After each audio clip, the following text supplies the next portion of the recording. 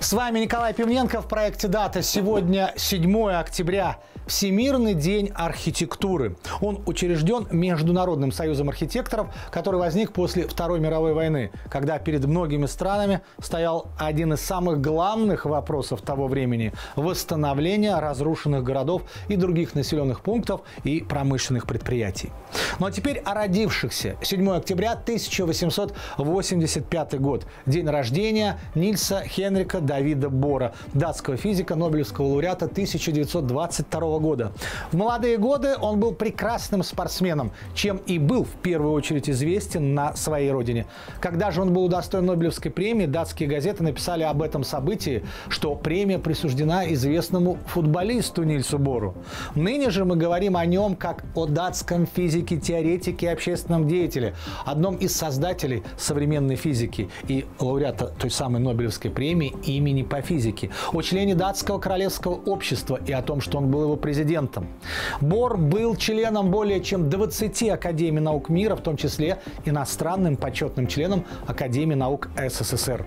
Ну а известен ученый как создатель первой квантовой теории атома и активный участник разработки вообще основ квантовой механики. Он также внес значительный вклад в развитие теории атомного ядра и тех самых ядерных реакций, процессов взаимодействия элементарных частиц со средой. В общем, новая физика. 1945 год. Рождается Владимир Молчанов, телевизионный ведущий, которого мы прекрасно помним и как ведущего программы «Время», и, конечно же, как автора и ведущего популярнейшей ночной программы «До и после полуночи». Ну а потом была масса других проектов. Владимир Молчанов по-прежнему в деле. В 1952 году родился Владимир Путин, президент Российской Федерации. А в 1967 в этот мир приходит Тони Брэкстон, американская певица в стиле ритм-блюз, поп и соул, автор песен и актриса. Обладательница семи премий Грэмми и других престижных музыкальных наград, одна из самых успешных исполнительниц 90-х годов.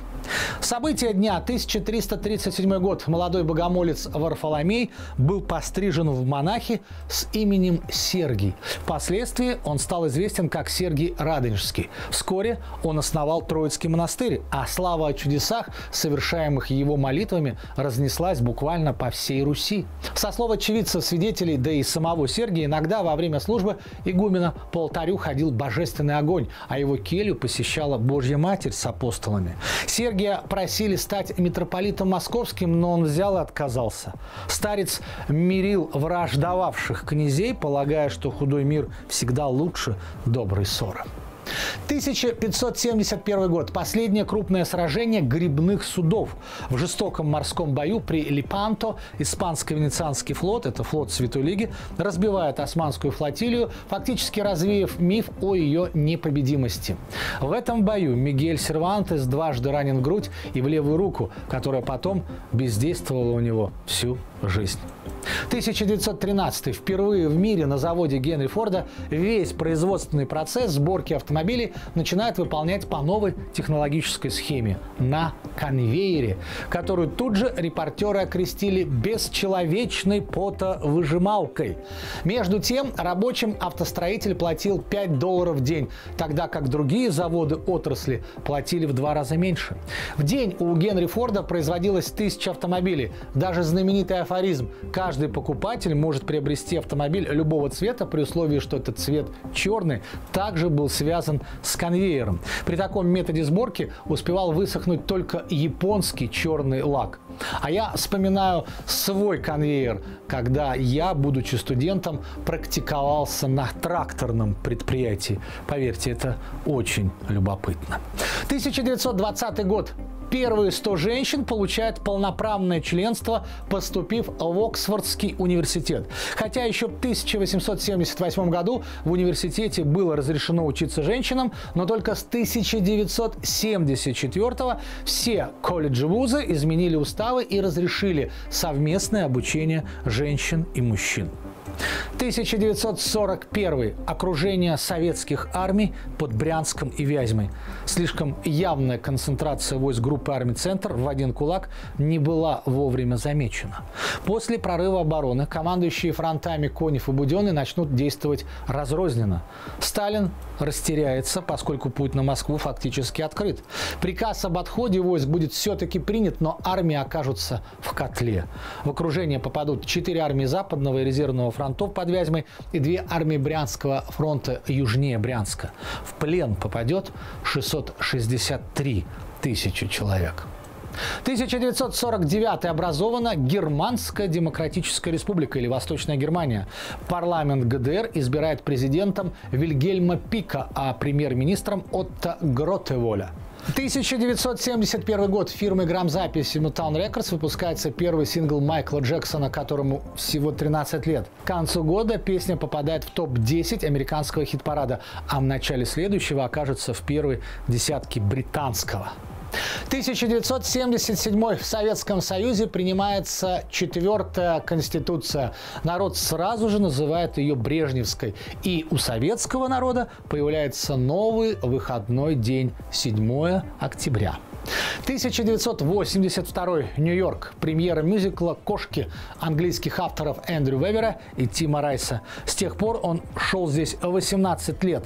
7845 раз и признан одной из самых долгоиграющих бродвейских постановок.